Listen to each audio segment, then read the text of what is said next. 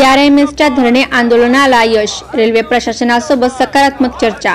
Ticket checking स्टाफला रोटेशनमधील भेदभाव दूर करून न्याय द्यावा. सीपीएडी केसेसमध्ये रेल्वे सेवेतून कमी केलेल्या कर्मचाऱ्यांना नोकरीत घेण्यात यावे. कर्मचाऱ्यांचा थांबवलेला टीए तात्काळ देण्यात यावा. तिकीट चेकिंग स्टाफला अम्युनिटीमध्ये रेल्वे बोर्डाच्या नियमानुसार डबे वाटप करण्यात यावे. सर्व विभागातील रिक्त पदे त्वरित भरण्यात यावी.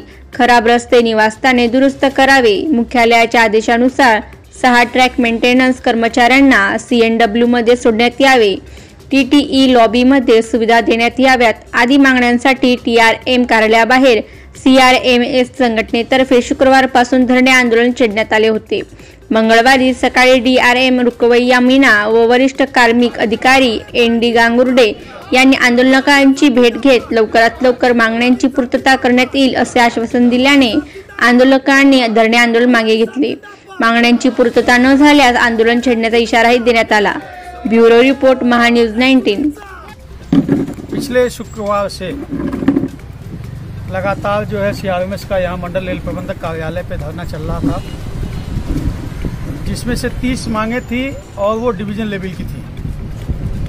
आज की परिस्थिति में, मंडल में परिस्थितियाँ ऐसी हो गई हैं कि ट्रैक मेंटेन करने के लिए ट्रैक मेन, ट्रैक मेंटेनर नहीं, वर्कशॉप में लोको मेंटेन करने के लिए टेक्नीशियन नहीं, खलासी नहीं, ट्रेन चलाने के लिए ड्राइवर नहीं, गार्ड नहीं, स्टेशनों पे काम करने के लिए पॉइंट्समैन नहीं, ट्रेन में टिकट चेक करने के लिए टीटी नहीं। एक एक गाड़ी में जहाँ सात से आठ टीटी होने चाहिए, एक या दो टीटी चलते हैं और उनको फिर एसीपी की भी ज़िम्मेदारी दी जाती है और उसके लिए उनको पनिशमेंट दिया जाता है।